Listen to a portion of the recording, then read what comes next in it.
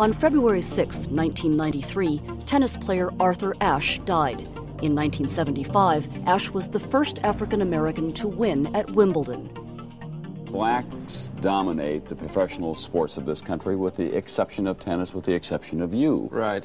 Why is that after all of this time? Uh, basically, it's an economic problem. Uh, we, when I say we, I mean black athletes, usually do well in those sports which are stressed in the public school systems because they're free. Mm -hmm. If you want to be a tennis player, you have to, in, in, effect, today leave the black community because the black, the typical black community does not have the wherewithal to produce a, a Wimbledon champion. Mm -hmm. But I think, though, that within 15 years, most of the uh, American tennis players uh, professionally will be black.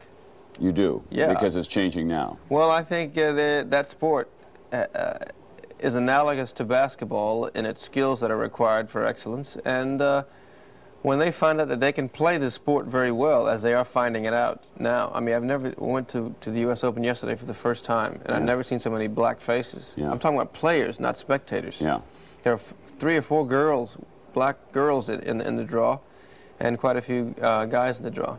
Great. Well, we look forward to having at least one black player back on ne the circuit next year. Yes, January. That's right. Nice to have you with us. Thanks, Tom.